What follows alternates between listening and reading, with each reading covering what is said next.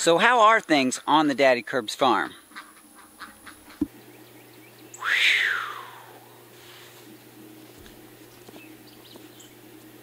It's hot. It's August in Texas, in South Texas. We would rather be spending most of our time in here, except even the water's hot. Most everything in August in Texas is too hot, too crispy, and not many of the animals move around a whole lot. Everybody finds their spot in the shade, next to a water bowl, up next to the foundation of the home where it's a little cooler. You just hunker down, find your cool spot, and get through this month. We've done our best for the horses to give them as much shade and ventilation and a fan to help cool the barn area down. That's helping, but the horses too, like most of the animals, they don't move around a whole lot. They just kind of hang out in front of the barn in the shade next to the water container. Chickens typically seem to be pretty resilient to the heat. They don't seem affected most of the time. Unfortunately, in the extreme heat of the Texas summer, we usually lose two or three chickens. They just can't make it through these hot months. Like this young Turken or naked neck chicken apparently just fell over. We don't see any other reason why it would have died, and it's fairly typical, like I said, in August to find chickens that just couldn't handle it. The ducks get pretty noisy when we come around to feed them or to record them or or just be outside. But typically, they're hunkered down as well. They find their cool spot, they make a mess with water, then they lay on the cool ground that they just got soaking wet in the shade.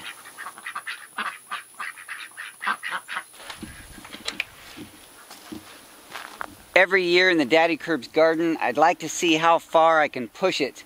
But most years by August, the garden is shut down. I got a little further this year because of the irrigation system that I put in, I was able to keep a little more water on more consistently, but even still, things are getting crunchy. I did have some really nice growth on my tomatoes this year. The plants looked beautiful, but once that heat came on real strong, fruit production shut off. Tomato plants are getting very crunchy. Basil's going to seed. And those peppers that I never got harvested, I better get to them soon or they're going to end up looking like this pepper plant that dried out from about the middle to the top. I have a few peppers here that'll be good for seed, but otherwise, that plant's done. The hibiscus plant from the Texas Boys is still doing okay, and looks like it might even flower real soon.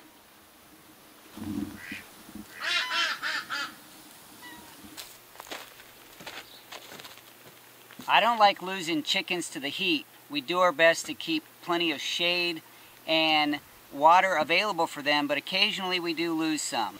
We're going to utilize this hen that couldn't handle the heat in this trap to see if we can get one of those bobcats that's been taking the chickens from our farm.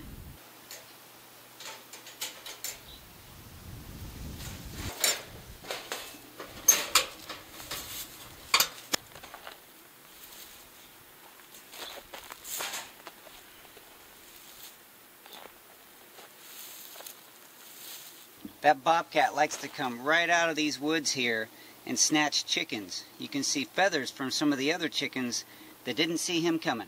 Sometimes people ask me, Daddykirbs, how do you handle the heat in Texas? I know it's hot. Yes, it's hot. We've been at 100 degrees plus for I don't know how many days in a row, but it's been a lot. Things are drying out, things are getting crispy, but I guess I'm just one of those weird guys that actually likes the heat. You see, I'm a I'm a little guy. It's a little frame, there's not a lot here. I get cold really easily, so these hot days actually feel really good to me. Now, of course, I do like the opportunity to get inside in the air conditioner every once in a while, or to jump in the pool when it's not, you know, 90 degrees in the water. But I do like the heat. Some of our farm animals that are a little less typical, like the tortoises, the bearded dragon, and the box turtles, you would think that they really like the heat too, and they do tolerate it well, but they like their time in the shade just like everyone else. In fact, those box turtles spend a whole lot of time half buried, sometimes completely buried, underneath these rocks.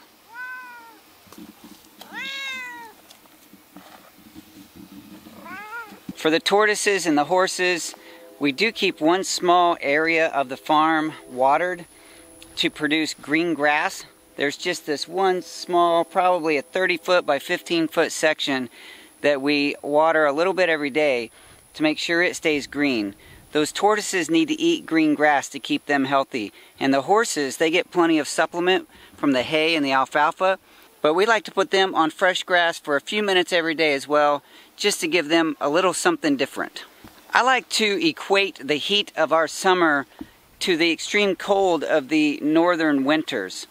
There's just a season that you know you're not going to get a lot done because the weather's not conducive. For you guys up north, you just have to hunker down, stay warm, put your boots on and your coat on every once in a while and get something done. For us, we have to find ways to stay cool through August in Texas. But, you know, the homestead keeps going. You find a way to get it done.